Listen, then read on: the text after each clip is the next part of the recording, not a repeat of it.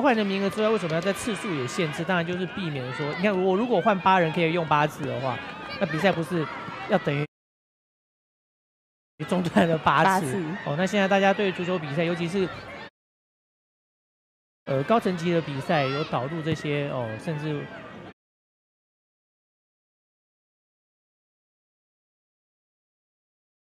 要来看影像。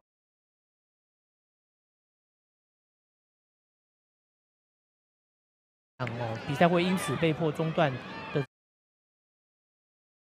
这样情况的话，对于整个比赛的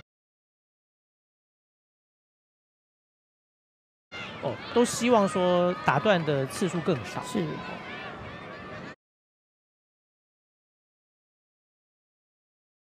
所以，大跟大家熟悉的像陈年级的比赛可以换，哇，这球打在门楣上，